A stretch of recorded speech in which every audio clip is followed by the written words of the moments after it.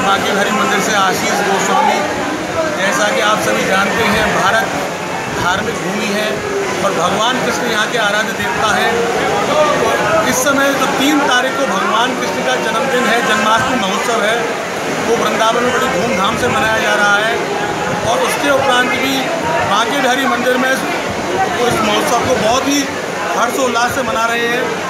यहाँ बिहारी जी के इस उत्सव में ठाकुर जी को भादव कृष्ण पक्ष की अष्टमी तिथि के दिन रोहिणी नक्षत्र रात्रि बारह बजे भगवान श्री भाग्य बिहारी जी महाराज का अभिषेक होगा। तो चांदी की नाद में भगवान को विराजमान किया जाएगा और सोने की चल्ली से भगवान का दूध, दही, घी बूरा आदि से महाअभिषेक किया जाएगा।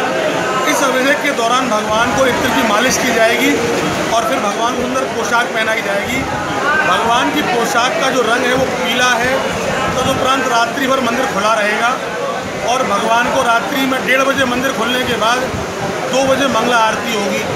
मंगला आरती दर्शन करना को विशेष रूप से कहा गया है। क्योंकि तो कहते हैं कि जिस व्यक्ति ने अपने जीवन काल में एक बार भी मंगला आरती कर ली, उसे कभी भी कंगाली का जीवन नहीं देखना पड़ता है। कहते हैं कि जो करें मंगला तो कभी ना हो कंगला। तो ऐसा सुंदर भगवान के दर्शन होते हैं।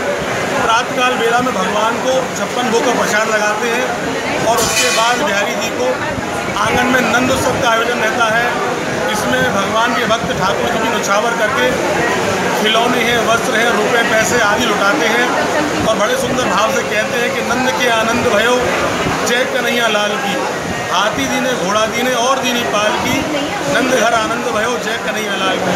तो आइए आप भी सभी मेरे साथ मिलकर बिहारी जी की सुंदर छवि के दर्शन करते हुए अपने आप को लाभान्वित महसूस करें। बोल बांके बिहारी लाल की जय।